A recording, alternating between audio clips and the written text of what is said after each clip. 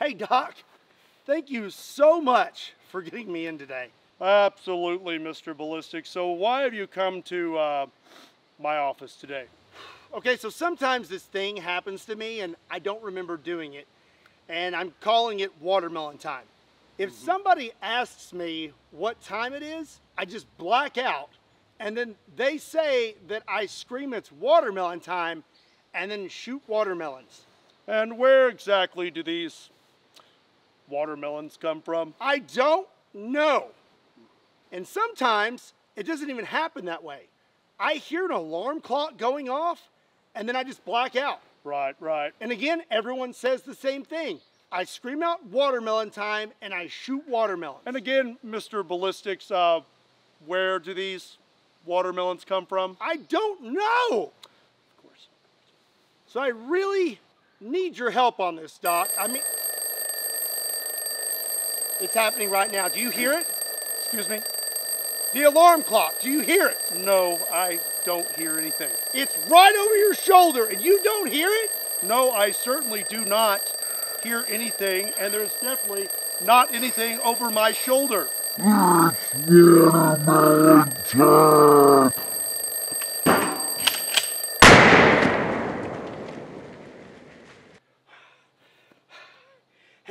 happen, didn't it? It did. It happened. I'm so sorry. So, uh, should I just like come back tomorrow or something, or? No, I. I think I'm to refer you to a specialist.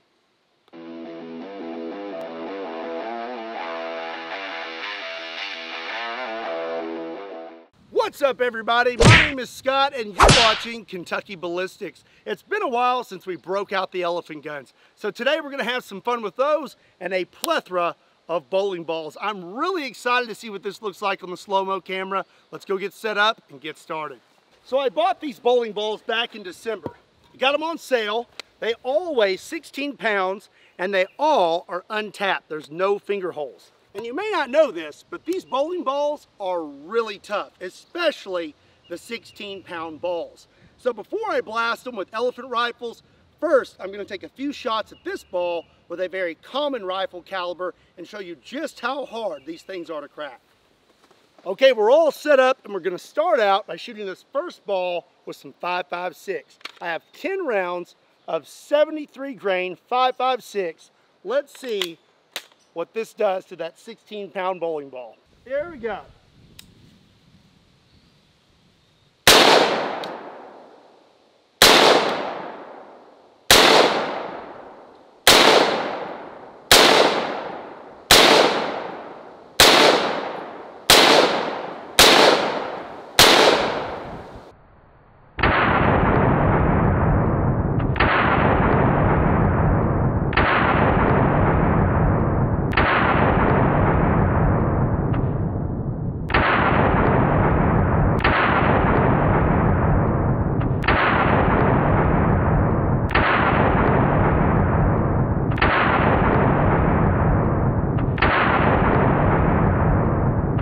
Ten rounds and it doesn't look like it did a whole lot of anything to that bowling ball. Let's go check it out. Okay, Mr. Bowling Ball, uh, pretty much ate those. So it looks like we did penetrate the bowling ball, but did not do very much damage to it. We've got a, a crack right there from that round. But uh, nothing made it all the way through. And this bowling ball is, I mean, still in pretty good shape. So now I think it's time we step it up to the elephant guns. But before we do, I want to say thank you to SDI for sponsoring today's video. If you're looking for a career in the firearms industry, you need to check out Sonoran Desert Institute. It's all online classes, so it's super easy for you. Be sure and check them out. There's a link in the description down below. So I got us a brand new bowling ball set up and now we're gonna move on to the elephant guns. The plan is to start out with the smaller of the elephant guns, which this thing is not small, but it is the smallest one I brought out here today. And we're gonna work our way all the way up to the 700 Nitro Express. The first one we are using is a CZ 550 chambered in 416 Rigby. Just for reference, that's the 556 we were using, and then you have the 416 Rigby with a 500 grain solid. All right, here we go.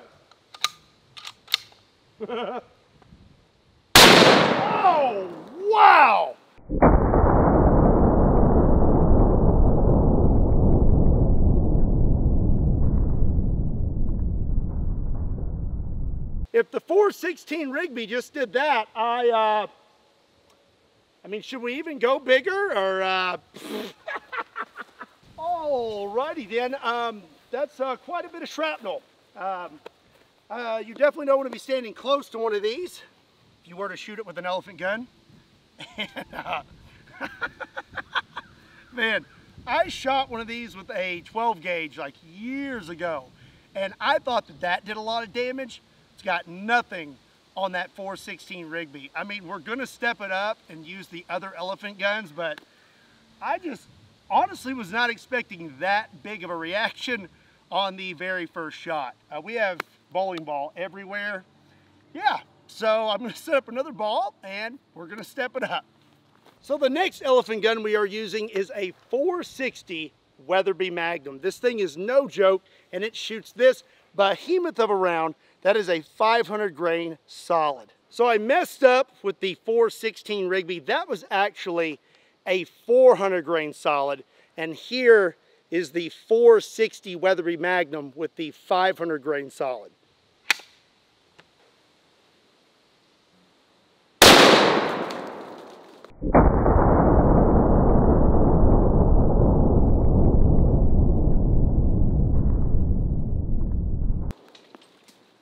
Well then, um, that was a little bit more than the 416 Rigby. So it seems the 460 Weatherby Magnum is also very effective at destroying bowling balls. Uh, there's shrapnel everywhere. I did manage to find this piece right here, and that is where we hit. Looks like I hit right underneath the path text on the ball, and uh, it just completely detonated like the first one. So now it's time to step it up to my favorite elephant guns, the double rifles. First up is my 470 Nitro Express. On the left is the 460 Weatherby Magnum, and then on the right is the 470 Nitro Express. It is also a 500 grain solid.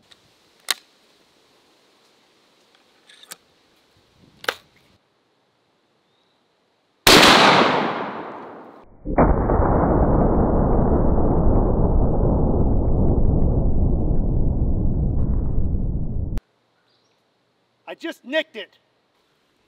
All right, so yep, I was aiming high and it looks like I hit high. So I will have to look at the slow-mo footage, but I think I hit about where I was wanting to hit when it comes to windage. Just got my elevation wrong. So after reviewing the slow-mo footage, I was correct. I had my windage right, but my elevation was off. I definitely 100% did not flinch. If you like the new shirts, go check them out. There's a link in the description down below. I thought it would be appropriate because today we're shooting the biggest guns out there. And if you're gonna flinch, this would be the time. Favorite part about this gun. Load one more.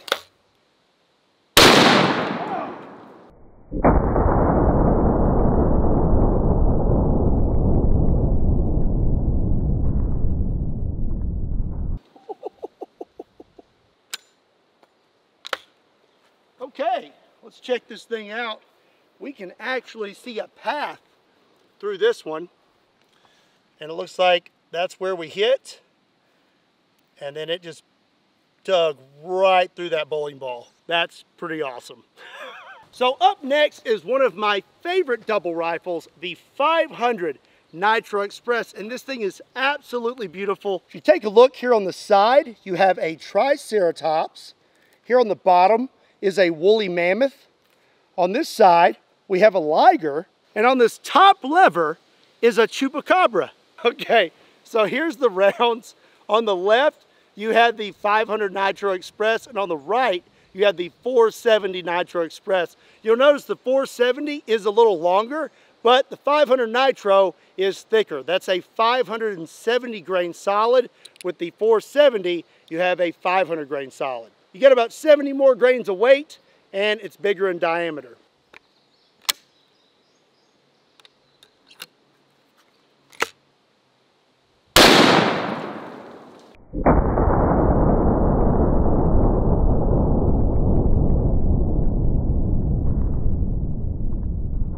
I aim to the right. Why do I keep doing that? Left barrel, so I just assumed I aimed to the right a little bit. But I've scooted up closer, so I should just be aiming dead center. Yep. That's what I did. All right, that's it. Okay. Now we know. At the distance I'm at, I don't need to compensate for left or right barrels. I'm just gonna aim dead center.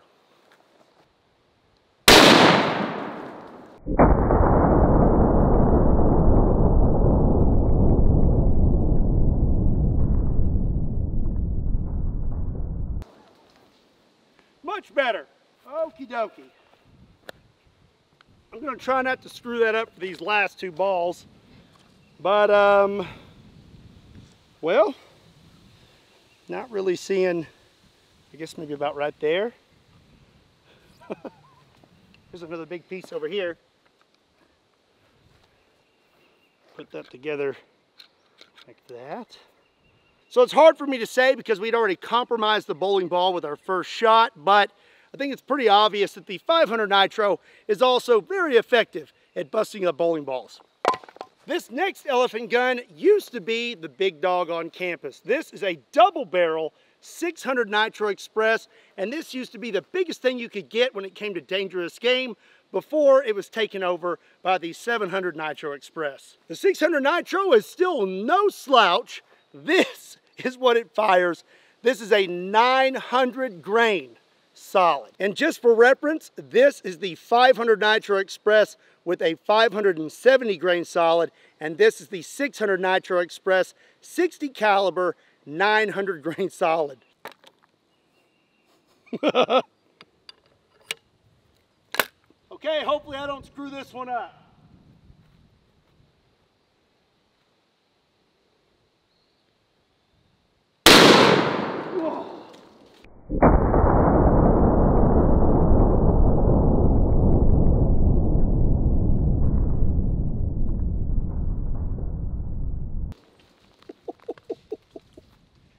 Still raining bowling ball. This just goes to show you that every gun is different. I aim dead center. With the other guns, we would have hit dead center. But it turns out that 600 Nitro hits a little bit high from that distance. But here's what I find really impressive about this. We hit a little high on this bowling ball and still split it in half. That is absolutely ridiculous. We're gonna move on to our last elephant gun, the 700 Nitro Express, but uh, I'm gonna take a practice shot first. That way we don't screw up this last shot. So here it is, the moment you've all been waiting for, the double barrel 700 Nitro Express. This thing is absolutely ridiculous. It is a 70 caliber double barrel elephant gun. Here is the 600 Nitro Express. That is a 60 caliber 900 grain solid. And here it is next to the 700 Nitro Express, 70 caliber, 1000 grain full metal jacket. This is pretty much as big as it gets when it comes to an elephant gun, and I failed to mention each shot is $100 a shot. So this is gonna be one expensive practice shot.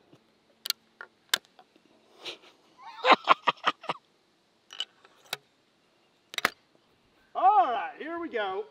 Oh.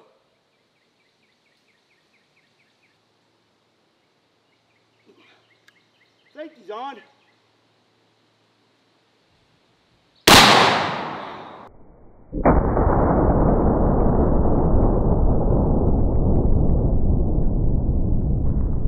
Okay, uh, that looks like that is hitting low and to the left. I'm gonna go left barrel this time.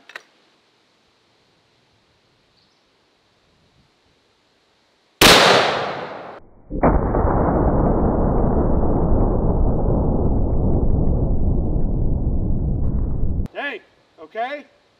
So I'm thinking that my sight may be a little off on this gun.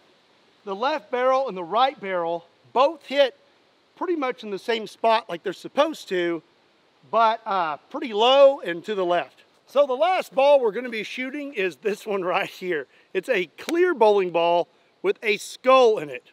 This is also a 16 pound ball, but it seems like this is made out of a different material than these bowling balls here, and they all seem to be a little different. I'm wondering if this will actually shatter or if we're gonna get more of a like bullet trail into the ball. So I'm gonna try to take the guesswork out of this. I've set my target up that I took my practice shots with. I know that if I'm aiming here, we're gonna hit right there. So I've got this lined up with where the bowling ball is gonna be. So in theory, if I aim right here, we should hit the bowling ball dead center. We'll see how that works out. Okay, we are gonna go left barrel. All right, hopefully this works out. ah, here we go.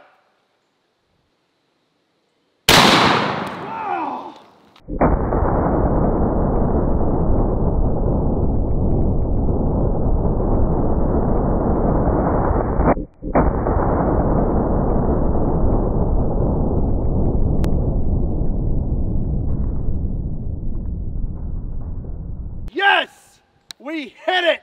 I don't care if we nicked it. We managed to hit it with some extreme Kentucky windage.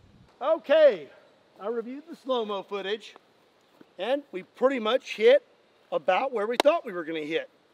It appears that this ball is made out of something a lot different than the other bowling balls. We hit kind of high on the ball and it broke up in a really weird way.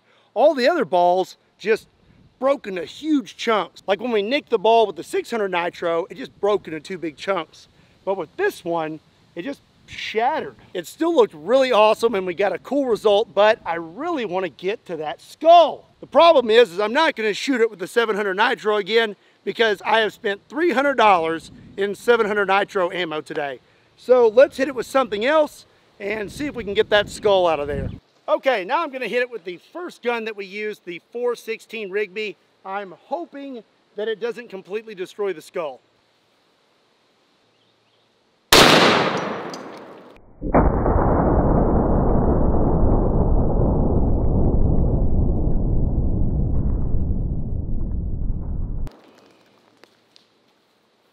Well, I think I destroyed the skull. Oh man, what a mess. So, looks like we made it to the skull. I was really curious to what that was made out of. Unfortunately, it looks like we completely destroyed it. Here's a little piece. so what have we learned today?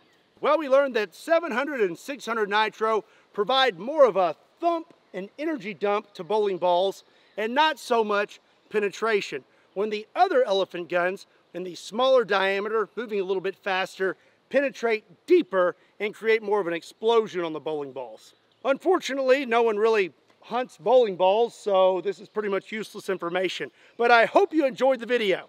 Well, that's gonna be it for today's video. Before you head out, I wanna let you know I ran over a zombie torso with a smart car. Looked really awesome in the slow-mo. You need to go check out that video on Kentucky Kustoms. There's a link in the description down below. As for today's video, I hope you enjoyed it as much as I did. If you did, be sure and give it a like. And if you're not subscribed to Kentucky Ballistics, make sure you hit that subscribe button. Also, be sure and check me out on Patreon, Facebook, Instagram, and Twitter. Links to all those can be found in the description down below, along with a link to KentuckyBallistics.com, just in case you want to pick up a shirt. And as always, my name is Scott. Thank you so much for watching Kentucky Ballistics. I'll see you next time.